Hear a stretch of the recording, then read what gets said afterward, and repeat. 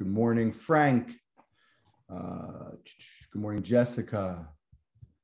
Joseph, good morning. Alex, good morning. Okay, guys, so today is literally my favorite topic to speak about, to be totally honest with you guys. Um, I have a few things that I want to roll into, and then I'm going to open it up for questions and answers uh, for you guys. If everyone could unmute themselves, unless you have a question that you could raise your hand or jump into that. Just, I don't want to go in and have to mute everybody. Good morning, Craig. Good morning, Judy. Okay, so um, the biggest thing that I really want to speak about is that regardless of what business you guys are in, majority of us on this call are all real estate agents or real estate brokers that this doesn't just apply for real estate people. This actually applies for any business owner. What you guys have to do is you guys have to master your business. And once you're able to master your business, then you could take the money from that business and put it into real estate because that is really what I'm so passionate about. So the funny thing is that you know everybody always looks at me as this real estate agent, right? With uh, that's had a lot of success and built a really really incredible business. But really, my main passion, my my real passion, my real love is rental real estate, and that is literally the whole reason I got into real estate right? So the whole reason I got into real estate was just to be an inside player to start buying rental properties. So what I what you know, it's funny that I had to build this incredible real estate business, but it really just made me the inside player. So rental real estate, investment real estate is my passion, is my hobby, is everything to me. The real estate brokerage and running the business and running a team and all of my other businesses and entities have one sole purpose to feed the real estate buying rentals and you know collecting doors to my portfolio so that's really what it's all about i know there's a lot of tv shows out there and a lot of people out there that uh, fix and flip right? And fixing and flipping is very sexy. You know people making checks 50 grand 100 grand is what you guys see on tv or on social media. There's really no tv shows or anything out there for people like myself. And because what we do is not sexy. But if you guys could do it for a long period of time, like myself and Jessica have been doing, you could really, really set yourselves up forever as we've set ourselves up, right? We set ourselves up not just for our life, but for Brody and Brock's life. And probably if they're good stewards of what I give them, they can probably keep this rolling for their kids' kids, right? And the fixing and flipping just makes you a quick check right so i always feel like i have i have a talent right i have a talent that i'm able to make a pile of money now you guys can make a pile of money uh, like gerard used to have a, bit, uh, a restaurant you can make it in running your diner but a pile of money doesn't change my life forever what does is a stream of income and that's what's so special about rental real estate right because they give us streams of income forever and for myself it started off very very very slowly right? So I'm going to bring you all the way back before I own multiple, you know, homes and before I own multiple uh, multi-families. The first thing I did is Jessica and myself ran out and we bought a two-family house, right? So at that time, you guys probably have all heard the story a million times. Myself and Jessica were living upstairs. We rented out the entire downstairs for $2,000 and our monthly mortgage payment was $1,900 a month. And that was my first property that I ever bought 15 years ago and we were living there making $100 a month. And then it all started from there. And then from there, I got the real estate license and I got the real estate license just to be the inside player and just to start to make a few little checks, right? I still had my day job, which was working construction. And then from there, we ran out and bought our second house. And what we did is we saved up enough money to purchase the second house. And then once we owned the second house, and we were making a thousand dollars in passive income. And I was so blown away by that because I used to go to work back then and I used to make $500 a week. So I was so blown away that I was making a thousand dollars without having to do anything, right? Without having to work any harder. So to me, as soon as I bought that second property, which I'll tell you the story, and I was super scared. As soon as I bought that second property, I was like, oh wow, this is really what it's all about. Like everybody is working harder to buy something else and then the money's gone, right? Where if I work harder and I buy another rental, it will give me that stream of income forever. And then I got totally obsessed with what I uh, am doing today, which is buying rental real estate. Right. So that I think that is probably one of the reasons why I got so passionate about my real estate business because I needed to have uh, a flow where I can make money right at a high level uh, and not only make enough money to feed my family and take care of everybody, but also make enough extra income to start buying rentals. So my second rental that I ever bought, and don't think that I went into this and I was like, oh my God, buying houses sight unseen with tenants, you know, in them and squatters in them. Today, that's what I do. But back then, I remember sitting with my father. My dad, uh, name was Harvey, but we called him Steve. And we're sitting in his, he had this beautiful white Infiniti, you know, back in the day. Uh, we're sitting there and I pull him up to this house, which is on Park Avenue, and I still own it today. And I'm like, Dad, I'm going to buy this house. And he says to me, literally says this to me. He's like, Beej, either stop talking about doing this or figure something else out. So basically, what he said to me was because I was talking about buying rental houses probably five years prior to that. And this is probably, I bought the first house at 20 or 21, and that was the one that Jessica and myself lived in, the two family. This is probably 22. I didn't even, I think I just got the real estate license, right?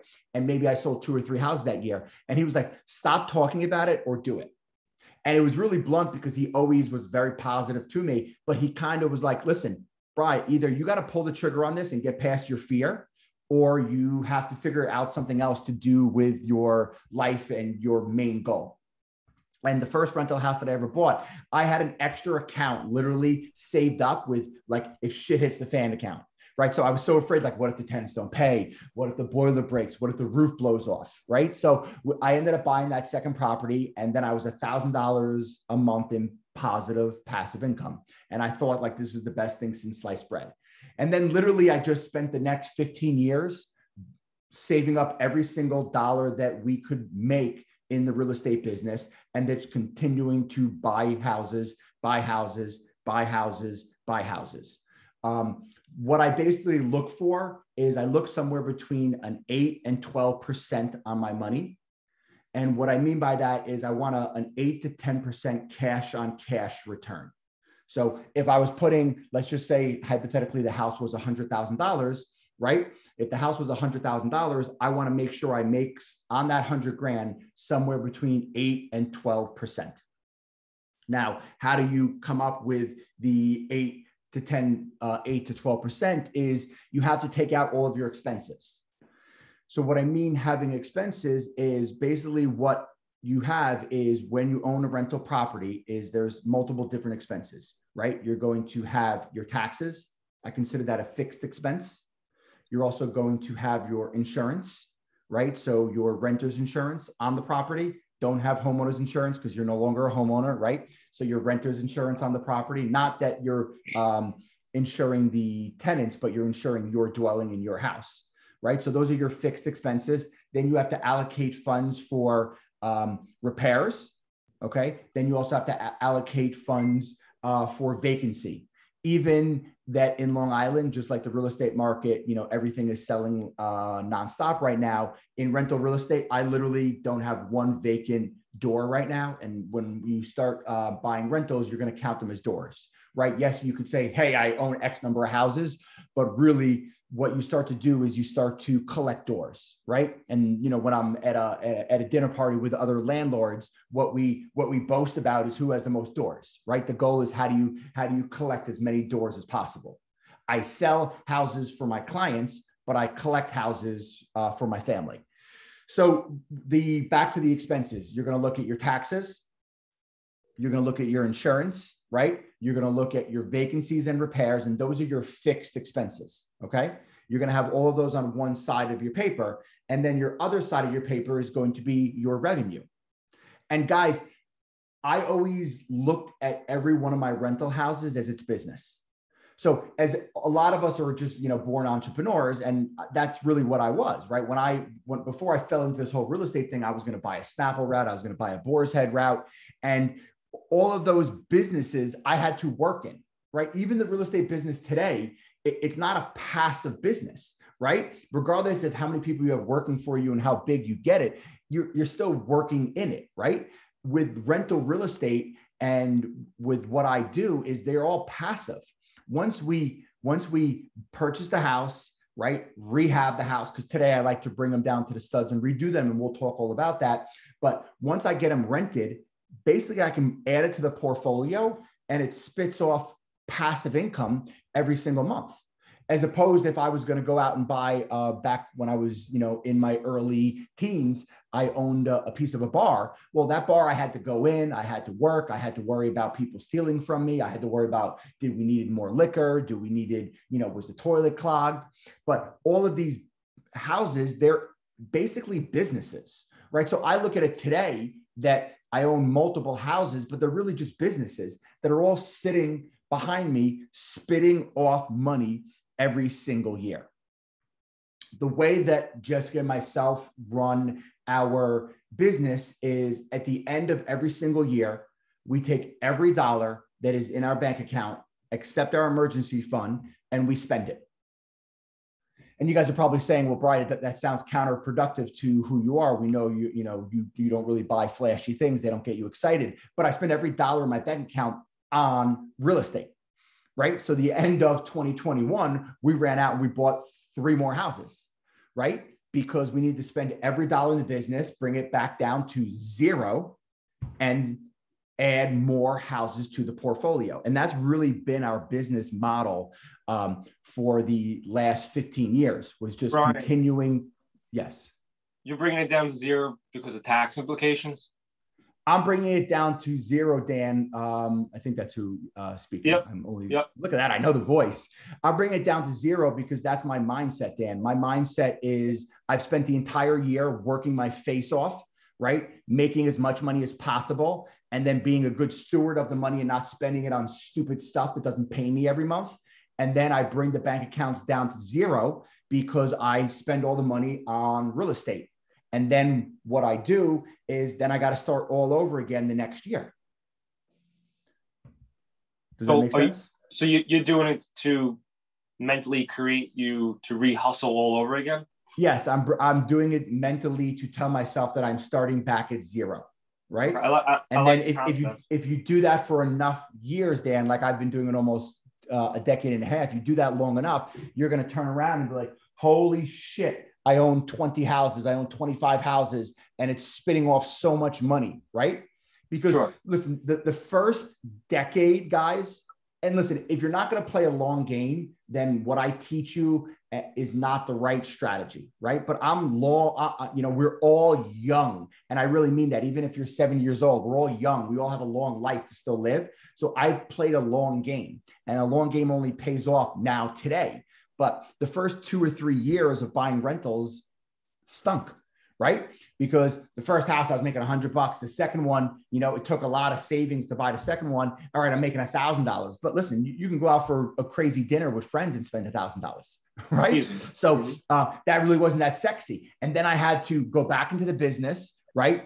Work again for maybe another year, another two years, another three years to buy the third. And now the third, I'm making two grand a month. Okay. And then the fourth, I'm making 2,500. And then the fifth, I'm making 3,500, 5,500, 10 grand, 15 grand, 20 grand, 30 grand a month in passive income, 40 grand, right? So it starts off very slow. But why it starts to get momentum is because then you're able to start to use the passive income to live your life. But then the, the, the thing that most people mess up on is what they end up doing is they start to see this passive income coming in and they start spending it, right? They raise, they raise their lifestyle. What we did was we let the passive income come in, but we acted like it didn't even exist. And we also kept our lifestyle very level with everybody else, right? Mm-hmm. But we doubled down the business, and the business was printing money, having incredible success. We took all that money and just kept buying and buying and buying and buying. And now we wake up almost 15 years later, right? And we have a portfolio that is incredible, that literally spits off enough money, you know, um, to take care of everything. Does that make is sense? There, is there a percentage that you're you're keeping in reserves whether you know it's a different account for you know the roof the boiler breaking uh, vacancy rates you know etc yeah so the first one i'm sitting next to my dad steve and i was scared shitless and i made sure i had an extra $10000 in savings just for that house. I had that house set up just with an extra 10K in case something went wrong. But then you start to build a tolerance. As I teach you to build a tolerance in your real estate business, as I teach you to build a tolerance in your fitness journey, right? And everything is you build a tolerance for it, right? Today I have I have 19 houses, 23 doors, right? And I don't have a, an emergency fund for just one house. I have a little block uh, of emergency fund for the entire portfolio. But the nice thing is, is that when you have a little uh, block of it, you're able to allocate uh, when things need to be done. The way that I really kind of designed my portfolio is it started off buying single family houses. And now we've changed it where we're buying more multifamily. The cool thing about the way that I started off the portfolio was a lot of investors, they buy for, there's two different ways of buying. You can buy for appreciation, okay? Or you can buy for cash flow. I buy a little bit for both, but I really buy for cash flow because cash flow is what um, pays my bills right? Cash flow is what let, lets me live my life. Okay. And that's really what I've always played for. You know, I'm watching, yes, all of my businesses, but the number that I know, and you could wake me up in the middle of the night and I will know exactly to the cent is how much passive income's coming in every single month for my family. And why? Because that's the most important thing right? So I may not know exactly how many, how much money is coming in pending sales. I may not know how much um, money is coming from this one flip that I did. I may not know exactly some other, you know, uh, amount of money coming in, but what I know to the penny is passive income coming in. And I also know my lifestyle expenses because I want to make sure I am always financially free um, in that capacity to make sure there's more than enough passive regarding our expenses. So when you look at the two different ways of buying, is a lot of uh, investors buy for appreciation, and buying for appreciation is difficult because you're counting on the market always continuing to go up. The way I look at it is appreciation is gravy, right? I love my turkey dinner, but if you give me a little gravy, it just makes it even better. And what I mean by that is that that all of the houses go up in value. Yes, I promise you guys over a 20 year period, they will all, with inflation, right? They will all go up in value substantially. But uh, I don't buy for appreciation, right? I buy for cash flow. So if I and and the reason why I will never get hurt, regardless if this market goes up, goes down, goes sideways, is because I purchased for cash flow. So the tenants will always continue to pay and we will still be able to you know run the portfolio. And now only today because right i'm i'm the the white haired guy in the room with in the real estate game is now only today am i starting to look at each property in my portfolio and say you know what? Wow. I bought this house for $180000 today it's worth 525 i'm no longer getting the 8 to 12% return on my money. Let me sell it let me do a 1031 exchange and let me move that money to another property or two other properties that are paying me more. Uh, a few, and I'm, I'm gonna I want to leave a, plenty of time for questions because I'm sure you guys are all like up to here with questions. But a few other things just that I wanted to uh, put together for you guys is every single one of my properties I put in an LLC. Okay, uh, I put it in a limited liability company. And the reason I do that is because if there was, God forbid, ever uh, a major tragedy at that property, it will not take down the entire portfolio. Okay. So each, remember, I look at each property as a business, right? So each business is in separate LLC. And the way that we have everything structured is each property is in its own separate LLC. And then there is a parent right? So all the properties are my kids. And then there's a parent LLC that manages, right? All of those properties. So what ends up happening is all of the tenants pay rent to our management company.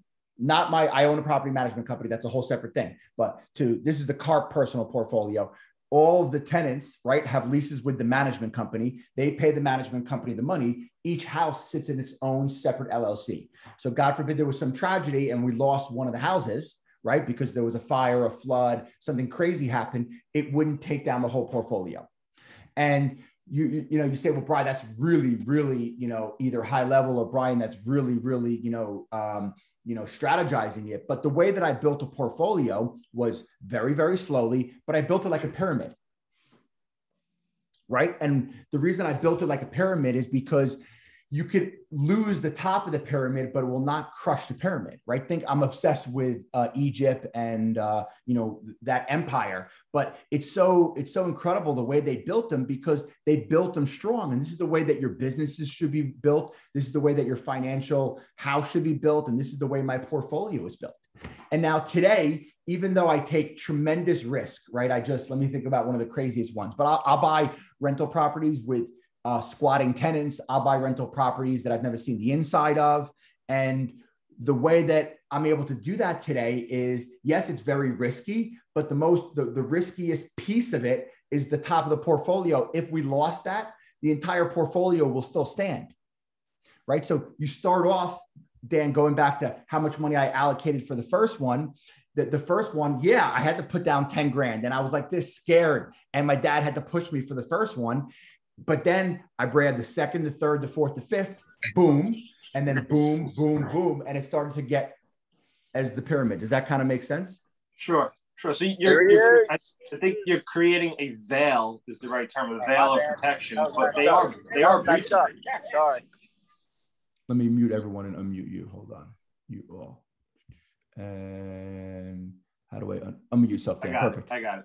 So you're yeah. creating a veil of protection through the LLC, and because you're creating two LLCs, it gets very difficult to get to you personally. But if there was a, you know, like I said, loss of life, something absolutely tragic, I mean, it's not hundred percent foolproof, but it's the absolute most protection you can give yourself and, well, yeah, absolutely. an umbrella policy on top as well. And remember, uh, Bryan Karp doesn't own any rentals, right? The Correct. my my entities own all the rentals, right? And I don't even personally own that one of those single houses. My management company actually, you know, owns that LLC. So yes, there's multiple different uh, but that's only then you know everyone will spend hours and hours and years and years. Oh my God, you know what if this happens? The corporate veil and LLC. I need 13 LLCs. Listen, the first five years, just run out there, be a madman, sure. and buy rentals. And then once you start to have something that you know is that, that there's an opportunity to be that this is big time and this could really be something that could be passed on, then you start to figure out how to structure it in the right manner. I want to answer Michael's question, but Mike, you know I don't really read. Uh, can you touch more on selling and buying properties? The properties I bought in 2014, 15, 16, maybe. Yeah. So, Mike, this is what I'm doing right now. And it's only cool because we've been buying for so long. Is I'm really going through the portfolio, and because the government inflated money so much and real estate went up so much, I'm looking through the portfolio. I'm like, I cannot believe this house is worth this and so I've I've already done it once this year, uh, and I did a 1031 exchange. I did a little bit of a high level one, and it was uh, reverse 1031 rent, uh, reverse 1031 exchange with repair, which was really cool. So what I did is I ran out and found this amazing legal two family. I went into contract on it. Uh, it was a foreclosure, and I needed to close on that immediately. So what I did is I closed on that, and then I put up one of my first, first, the first house that Jessica and myself ever bought 15 years ago. I put that in the market, sold that, rolled all of the money into the two family, right? So I did it in the reverse capacity, right? Normally you sell and then buy with the funds. I purchased and then sold.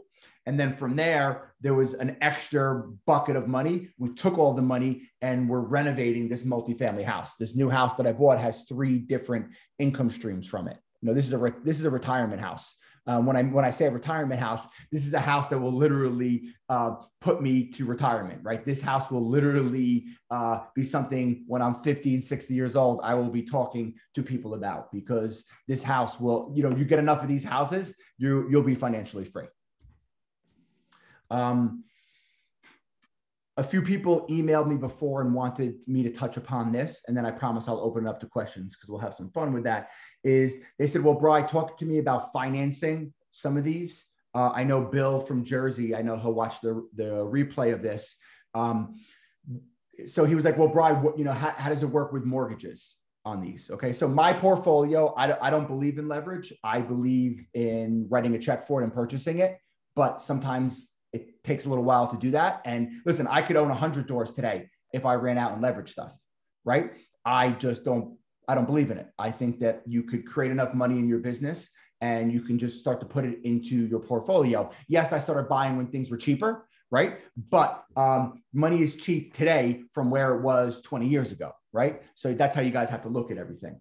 So, and even my first house I ever bought, you know, we we took a mortgage on it, right? And then you'll get to a level if you decide that you don't want to mortgage stuff. That's totally your um, you know it, that's up to you guys so the way you could do it is there's so many different loans what i would recommend is getting your first house first because your first house you can get a primary mortgage on super easy you know best interest rate as little uh, as low money down as humanly possible then from there you can get your secondary which would be like an investment loan um, there are really cool products out right now that you don't even have to uh, have the income to support that rental right? And what I mean by that, and I'm sure Michael, because uh, I know he's a mortgage guy, but could speak upon it, and some other people in the room. But the, the, with with a lot of the products they have out now, is all they care about is all they care about is that the property cash flows and the numbers make sense. So the cool thing is that literally, if you guys ran around and found the right deals,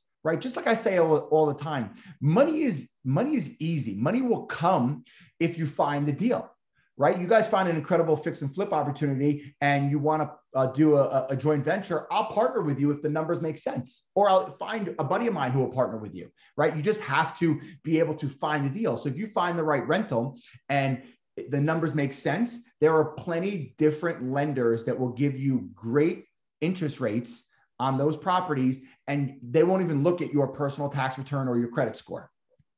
Another strategy that a lot of my friends use is the BRRRR method, right? Which is basically purchase, rehab, and then refinance out. But you say, well, Bryan, I don't have the money to purchase it. So the way you could do it is you could use a hard money lender, right? And if you need introduction, I have plenty of hard money lenders uh, that I can introduce you to. And basically, what a lot of my friends do is they'll purchase something with hard money, they will renovate it, right? And then I believe within six months, uh, they will bring in traditional financing and they will take all the money out of it, right? Pay off their hard money lender and own the property. Uh, basically it's you know it's an infinite return because they'll have no money in that transaction. Um, some other questions that i got from emails prior and then i promise we'll we'll hit some questions with it is the really really cool thing about rental income is it's taxed a lot lot less than our earned income right? So on my portfolio today, which is you know over 20 uh, doors, I literally paid almost zero in tax on that income. Totally legally, totally legitimately because of depreciation and because of stepped up depreciation. And what's a stepped up depreciation is you could take a larger loss on that property or that business right the first few years while you're doing major renovation to get the, to get it up and running um, the way that I structure the portfolio today is I love twos and three families. The first probably five or six years of buying, I really love buying single family houses. And the reason I love them is I would always look for stuff that was about a thousand square feet. I didn't care what the condition of the house was, and I didn't care how many bedrooms it was. I just wanted to make sure it was a thousand square feet because with a thousand square feet or even 900 square feet, I know that I can go in there, uh, bring it down to the studs and turn it into a three bedroom, one bath or a three bedroom, two bath. Right. And I knew that I was able to get maximum rent for that property. What I would always look for uh, on that was I was always looking for low taxes because the one thing that will never change is the taxes. They'll only continue to go up. So my portfolio really kind of started in that Ronkonkoma area. And if you guys are out in Suffolk, the reason I loved it is about 15 years ago when I first got into this game, I was watching this one big corporation scoop up all the commercial property around the Ronkonkoma train station. And I was like, oh, wow, something's happening. This is before they even announced the hub, right? This is like you guys seeing, you know, um, um, Patchogue before it blew up or Rockville Centre before it blew up for my Nassau peeps. And I started buying these little 800, 900 square feet ranches right around the, the, hub. And it was a little rough back then. And what I basically do would bring them down to the studs and I would re uh, organize the rooms and I would turn it into a three bedroom, one bath, or a three bedroom, two bath. And that was really my business model for the first few years. Then I found that if I had a detached garage that was off to the side of the house, that that could be another income stream. So then I started looking for houses that had garages because, you know, everyone in the room who's a real estate agent, we know that, yeah, a detached garage is not really going to change the value all that much of the house. So I was like, all right, great. If I can grab some houses uh, that have detached garages, another income stream. Like today in my portfolio, I own a legal two family with a four car detached garage. And I just uh, up the rent on my garage tenant, and he's he's really getting a great deal. He pays seven hundred dollars a month for the garage of that property, right? And that and that is almost like owning self storage. So the model first was little single families. Now that I'm more experienced and the portfolio is much larger, we're starting to pick little single families in the portfolio and we're starting to trade up and taking that money and moving it into two families and three families. What I will tell you is that single families do appreciate more, right? We were talking about, um, you know, cash flow and appreciation.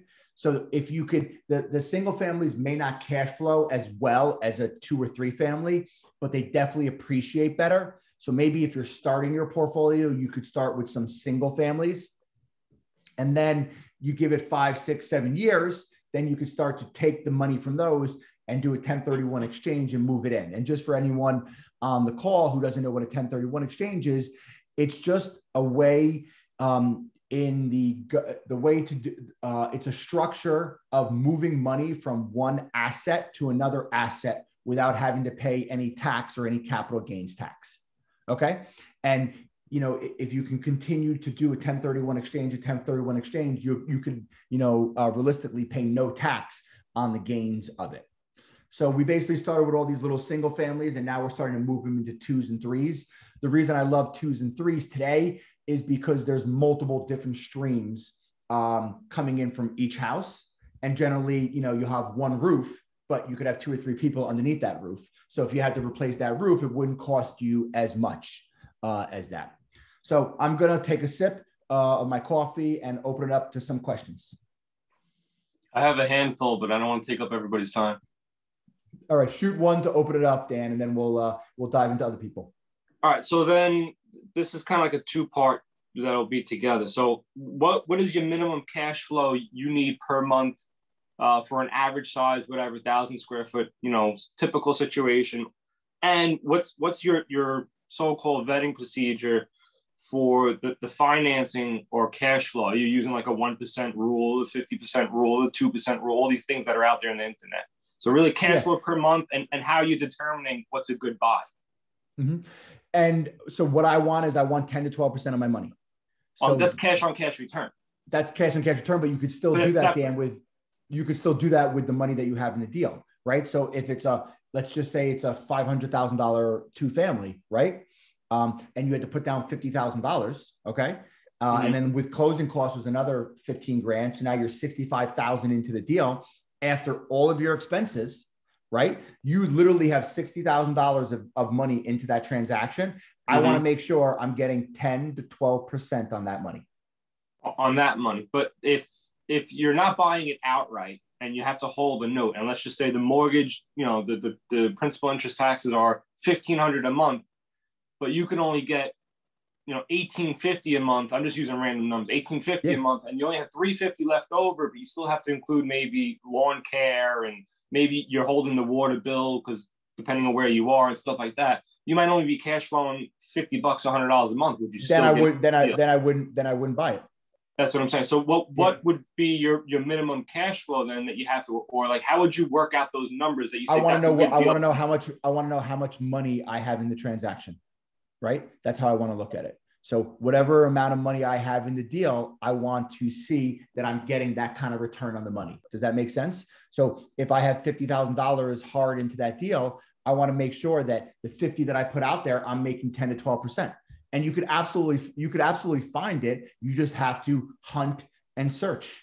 They're definitely out there. And really to get that, you're going to have trouble with the single families right now because they went up so much. So really start looking at twos. I still see twos in Patchogue that come on the market that will give this to you, right? You can grab a two in Patchogue that needs a little love for 450, you know, 500. Especially guys, listen, the reason I got the real estate license was to be the inside player. Grab something off market. I just bought a, a gorgeous um, two family in Ronkonkoma, right, for $360,000. Beautiful, beautiful. The downstairs we're renting for 2550 for a two bedroom, one bath downstairs. And the upstairs I'm written for two G's. That was off market? that was off market.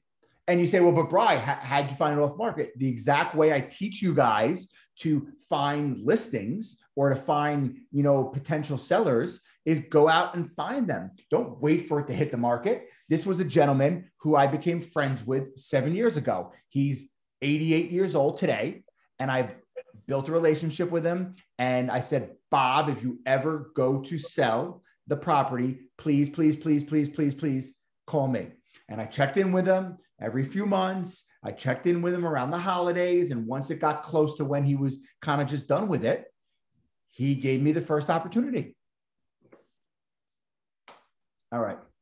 We'll come back to you, Dan. I know you you still have some more questions. Who else uh, has a question? Just jump right in. Sure. Who's talking, me? Yeah, go artist. How did you create your construction crew?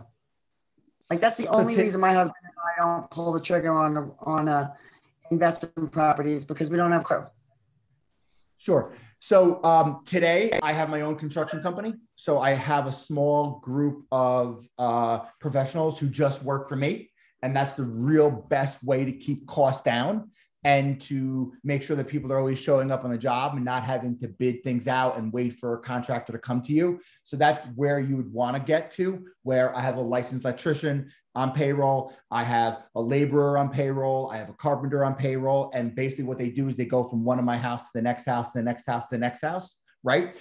But it didn't start off that way. So what I would do is I would find a, a general contractor that was starting his business and I would basically give him the entire job. What I basically did is put together. So here's an example: a house that I still own today um, in Lake Grove was I basically put together an entire spec of what needed to be done, and I met with a few different contractors, and I put it all out to them for bid. What I said is I would buy the materials, right? You guys bid the labor and I would get them all together and I was just passing them around until I found some people I was comfortable with. Don't don't let that stop you from buying real estate. The biggest thing I, I promise you, Art, is that in 10 years, you'll wish you owned more real estate. And one other little tip with that is um, the best thing to do, Art, is try to buy something that doesn't need total renovation and total gutting because building costs is so expensive right now and what I could tell you is, I don't really. I bought a, a legal two family in Farmingville uh, late last year, and the kitchens are really like original, like 1980s, but they're in great shape. And I'm still getting great rent. And I didn't gut those kitchens because I can gut them, spend 10, 15 grand on a new kitchen. I'm really not going to get any more rent.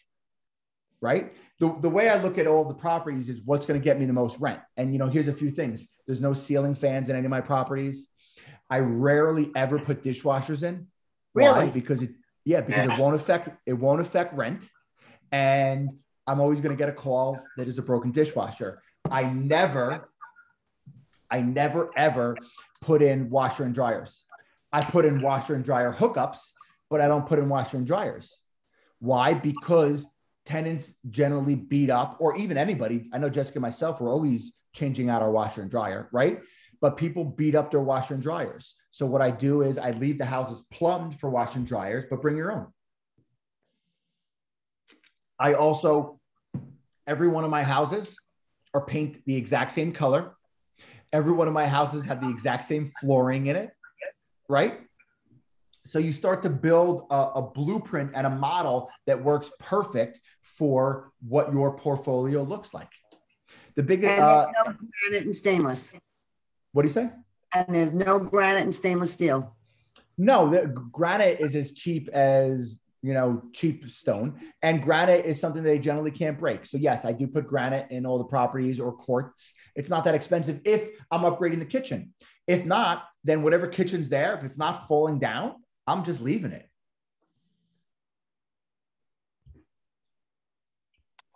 Hey, Bryan, uh, Conti here. Question in regards to your uh, level of flooring, um, uh, thickness, uh, with durability.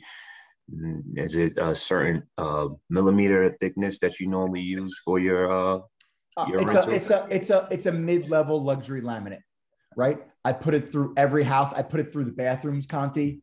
I put it through the kitchen, right?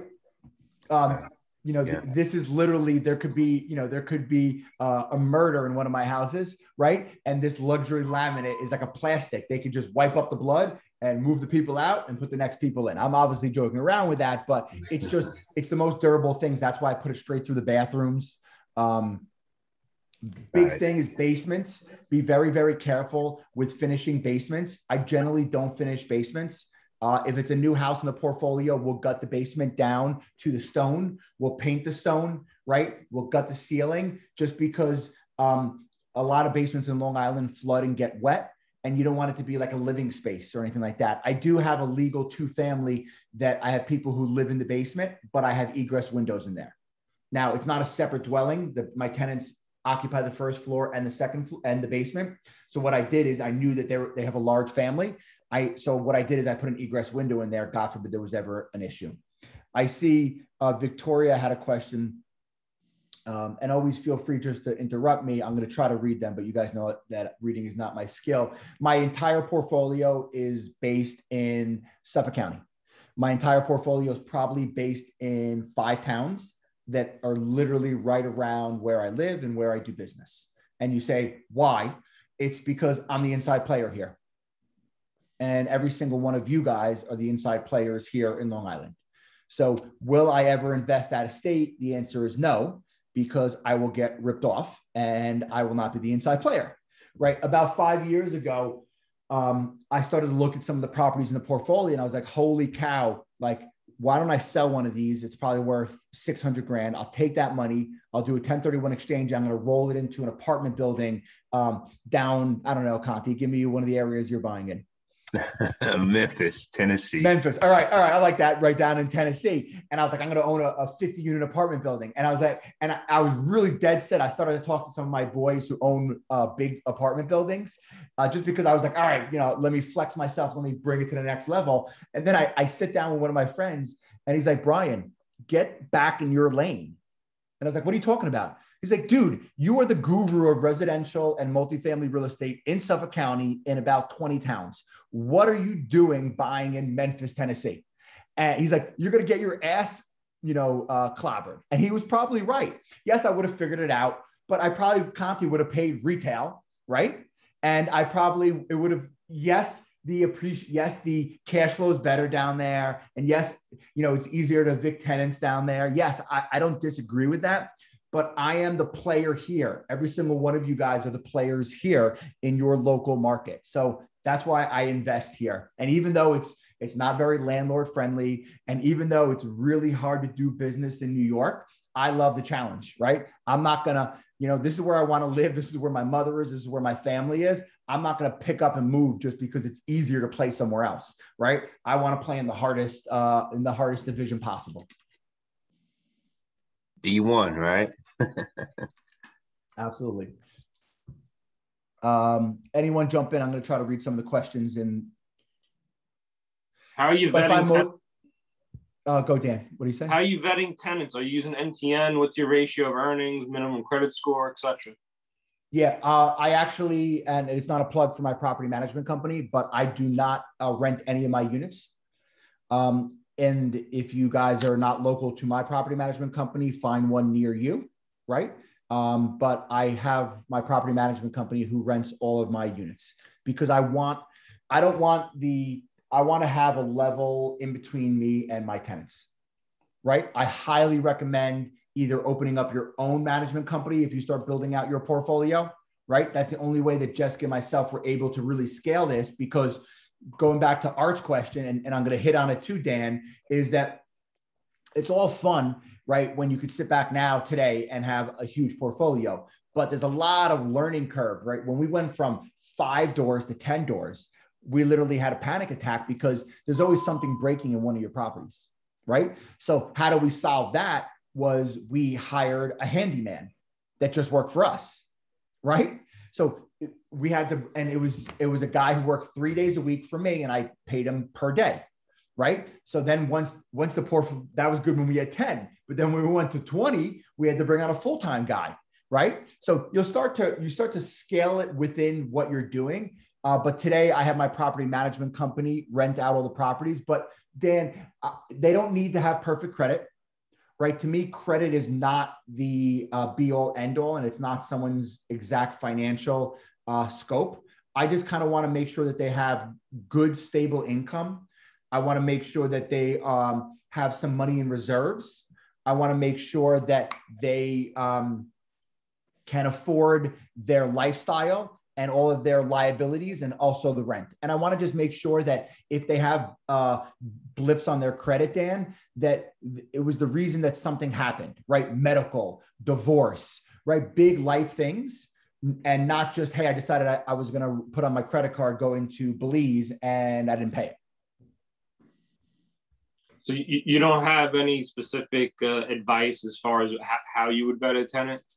I would want, I would want how to vet the tenant is if you're meeting them, you know, listen, I'm a very good judge of character. You're going to meet them. You're going to want to chase back where they were living before. Like I, I, want the story. And then I want to vet the story and see why they are a tenant. Sure. Right. Um, I'd say a third of my portfolio I rent to a non for profit. It's not a Section 8, but it's a non for profit uh, for people who are working programs and people who uh, have some um, uh, mental challenges. So um, I have a great success with them. So there's a lot of amazing non for profits out there, and they're great tenants, even though some of the organizations don't take care of the properties as well as single individuals do. But when I look at it, is in a perfect world, you'd want the rent to be a third, right, of their total household income. But unfortunately, it's New York is expensive and rents are very expensive, which is great for us. Um, I'm happy with half, right? somewhere in that manner. Uh. And I just want to see that they have stable employment. I'd like to have a two income household. Um, with that, I don't have any today college rentals. I don't really love them. I had one um, and we rented rooms right around Stony Brook. But even though the cash flow was lovely, it was kind of a pain in the butt. The, the kids would really mess up the property and we were always having an issue uh, with the tenants. Uh, Rich's question is Do you find most of your properties off market? I'd say I'm always searching. Um, a lot of them are coming off market today, but I'm buying. I bought a three family in Smithtown um, six months back that was on market. So there's definitely some good deals still out there. Yes, you know we always say if it's on if you're if it's on the real estate market it's not a deal anymore. That's why i always tell everyone put your house in the market because that's how you get market value. And if it's off market you take a chance of, of not getting top dollar out of it. But there's plenty of tired landlords who own one or two properties that will sell it to you at a discount to not deal with the headache of having to remove the tenants and having to put it on the market and show it with tenants inside it. Yeah, I'm also finding those uh, on the MLS a lot, like uh, no access inside and stuff like that. So, but as a new investor, particularly, would you suggest that though, taking on a, pro- Absolutely a property. Absolutely. You take on you take on someone's head. We solve headaches, right? Mm-hmm. As real estate agents, your job is to solve solve a problem. As a real estate investor or someone who owns multifamily property, to me, if if I could solve a problem for somebody, I could, you know, get it at a discount. The house that I bought uh, in Ronkonkoma late last year, the legal two family. Marianne Lipton. I'm a resident of Syosset and the um, I just muted everyone. So Conti, unmute yourself if we're still chatting. But the reason why that gentleman sold it to me at a discount is I took it with both tenants, right? One was leaving, the other one was gonna leave. So I took a little risk because I took it with both tenants because it's generally hard to sell a house that has tenants inside. So just because they don't want to give access and and just so you guys know, leases supersede the sale. So what does that mean is that just because you sell a house if there's a lease in place, that lease actually supersedes the sale of the house. So uh, you can't just sell a house tomorrow. If I have a lease until September, I could stay till September. And we all know that New York real estate is super, super hard to evict somebody, right? I'm walking through an eviction right now um, of a house that I bought in December. I don't think we're going to be, be able to even get to court until August. But you have to look at, yeah, but listen, you don't take anything personally, right? We're all businessmen and businesswomen. Just factor into the deal. And I'm not going there kicking the door down, pushing the people out right? I asked them to leave. I offered them some money. It was a house I bought with a squatting tenant in it, but I got it at a discount because I solved the problem. And you know, I offered them some key cash for keys. They didn't want to play that game, which is fine. So we sent it to the attorney, and now I'm waiting for my day in court. Okay, so your estimation, what's the average around about on evictions these days now in New York? Yeah, I, w- I would allocate 5K all the ones that I've walked through ended up costing me about $5,000. And that's not in lost rent.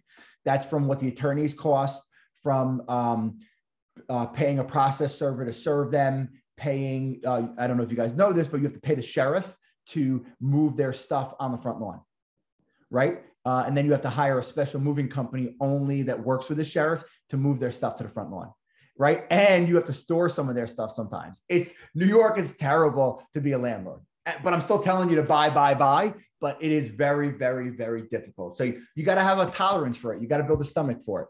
So uh, I always, I always allocate 5K anytime I have to walk through an eviction. And what's your time? What's the timeline from the beginning of it to the finalizing and getting them out? Mm-hmm.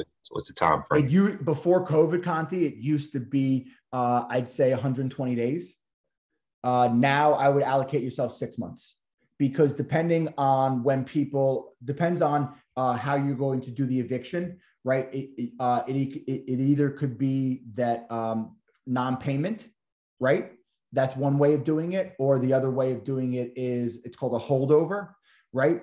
And it all depends on how long they've been in the property. And don't quote me on this, right? I'm definitely not the expert in it, but if you have to serve them a certain amount of time, right? So if they if it's a, a one year lease, I believe you can serve them a 30 day notice. If it's a three year lease, it's a 60 day. And if it's anything more than a three year lease, you got to give them a 90 day notice. But Conti, it's a 90 day notice just to appear to court. Then you appear to court and they can postpone it. They could have some issues. Then the judge has to give them a timeline, right? So the one that I'm walking through in Ronkonkoma right now, um, that woman has been in the property for over a decade. So it's, you know, it, it's, it's going to be a long haul, but it's worth it. Right. And listen, it's all delayed gratification. Like I love having to wait to receive my benefit. And what's my benefit is getting her out. We're going to renovate the property. We're going to make it brand new. I'm going to rent it out and I'm going to receive another stream of income forever. Got a few more minutes left. Um, anyone else jump in on some questions? Yes, quickly, Bryan. Mm-hmm. So um, I encountered a, a builder, it's an old man, maybe in his 80 years old. Uh, he used to build a lot of homes. And um, somehow I did a tour on one of the properties, a three family home, but it has a lot of violations. Um, how do you deal with that? Yeah, He's so a lot a of good price too. He's selling for a good price you should buy it, Conti. Right? The reason I have a real estate license is I get to. Uh, I'm not Conti. I'm sorry, uh, Shafiq. Shafiq um, you should buy it. Right? Every every every every time I get a call from a multifamily person, of course, I always tell them put it on the market because that will get you the best money. But I'm always looking at it for myself. So the nice thing is you get first dibs at it. Shafiq, you should literally spend today and try to strategize a way, even if you're bringing in partners or friends, for you to buy that be honest, show him what the market value is, but also explain to him with violations is a pain in the butt. Will I buy something with violations? Yes, but I would want a discount for it because you're probably going to have to clean up those violations. Um, it's just, and it, it's very easy. It's just looking at what the rent roll of the property is or what's the potential rent roll, right? And then coming up with a value of it. Just remember when you get past uh, three family properties, you evaluate them differently, right? With single family homes, we do comps, right? We look at similar homes that sold. I don't need to go into that. You guys all know that. But when you start looking at multifamily properties, right, anything more, I believe, than three family, uh, you're going to look at a cap rate, right? So it's going to be what rents are, right? And that's kind of how you determine the cap rate of it. And the cool thing is, is that if you buy something like I'm look right now, I put an offer in on a four family with really, really low rents. I could literally do nothing to the house and change the value $200,000. How? I could buy it, right? Rip out all the tenants in a nice way, right? But rip out all the tenants, maybe clean up the units a little bit, rent them at market value, and then I could resell the house or the the multifamily property, and it would sell for a lot more just because people are going to buy it on the cap rate, which is a cool strategy. And uh, there's a lot of developers in the boroughs that do that. They buy, you know, ten family properties and they rip out the tenants, they release them at a much higher value, and then they sell it, uh, or they refinance it, pay off all of their investors, and then they own the asset. Okay. I'm just scrolling through the questions, see if I missed anything. Uh, do I ever look at commercial? Uh, gee, I would definitely look at commercial, but I want to make sure it has some type of residential in it or some type of because commercial, as we saw with COVID, sometimes it changes. And I'm not a huge, I don't own any commercial properties. I only own multi families. So would I buy a commercial? I would if it had maybe some apartments up top right? Because I know it could always lease those. People always need somewhere to live, but they don't always need somewhere to work. So um, I would buy a commercial, but I would want to make sure that it had uh, at least a residential a residential piece in it.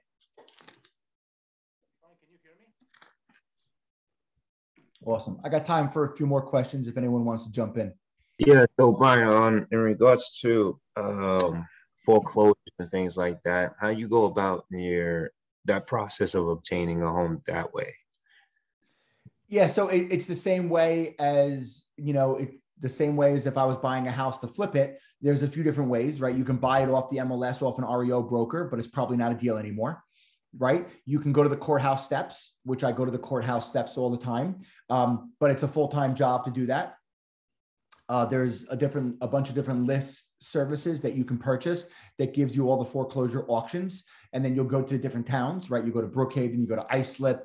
Uh, I don't buy in Nassau County. So Nassau County or Queens, uh, people would have to know those. But Smithtown, they all have different, you know, townships where they literally auction off the houses. Uh, you got to buy them in cash and you have to have 10% there in hand to uh, give to the referee. There's also a bunch of you know websites online, auction.com and Hubzu. Those sell a lot of Fannie and Freddie's uh, distressed assets. Um, they're kind of like eBay for houses. I have purchased off of those, but they're kind of you, you know you got to hunt them. They're better than buying off the MLS, but there's still a lot of people know about them, right?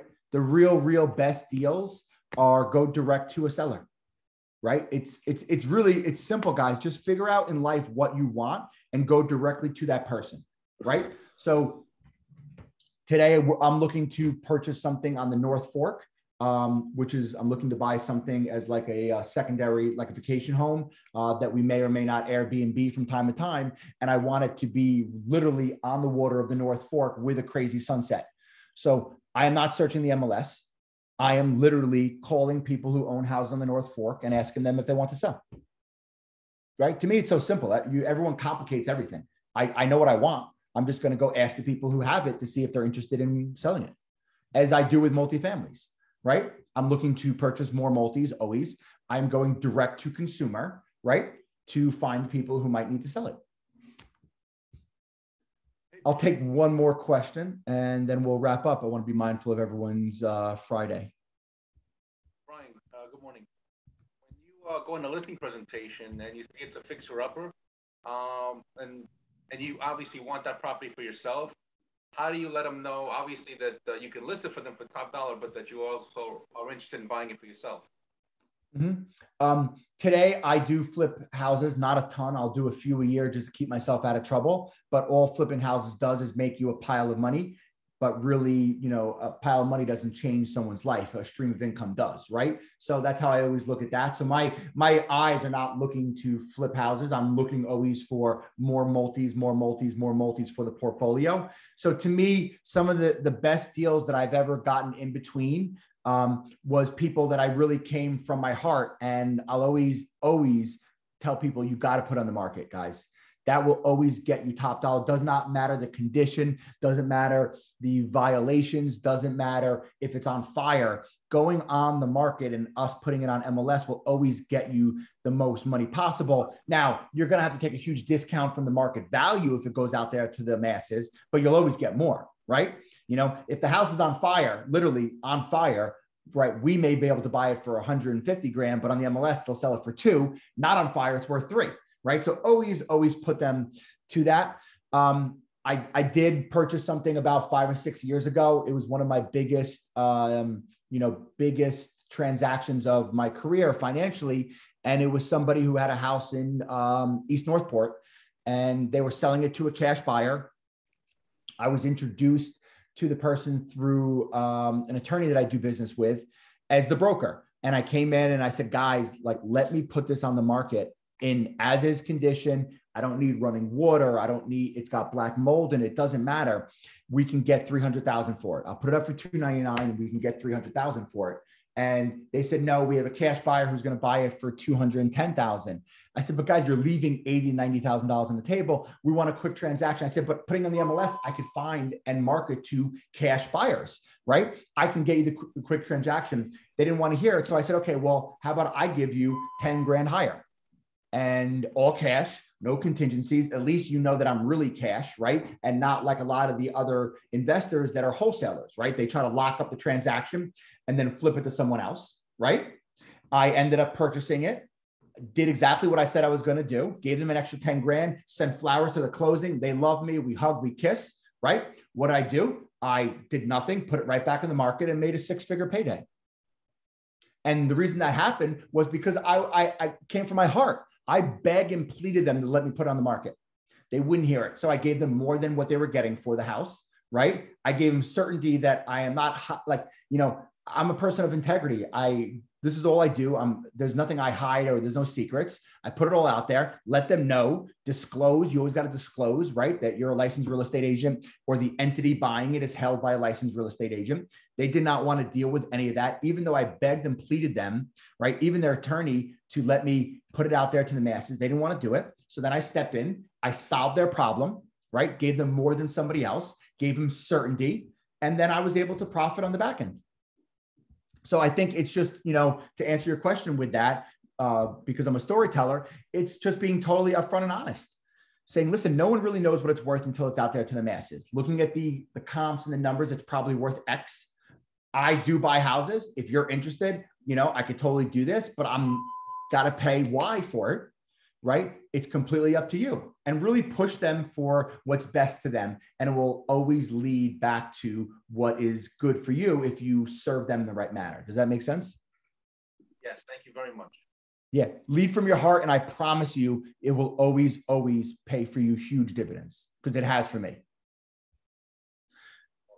All right, guys, I'm going to wrap up. Uh, this was by far one of my favorite topics because this really is uh, my passion and my hobby and what drives my real estate business and what drove me into real estate 15 years ago was rental real estate. So thank you for being a part of it. Go crush the day, win the day, uh, and um, we'll see you guys soon. Thanks, Bryan. Great job. Thanks, G. Appreciate it.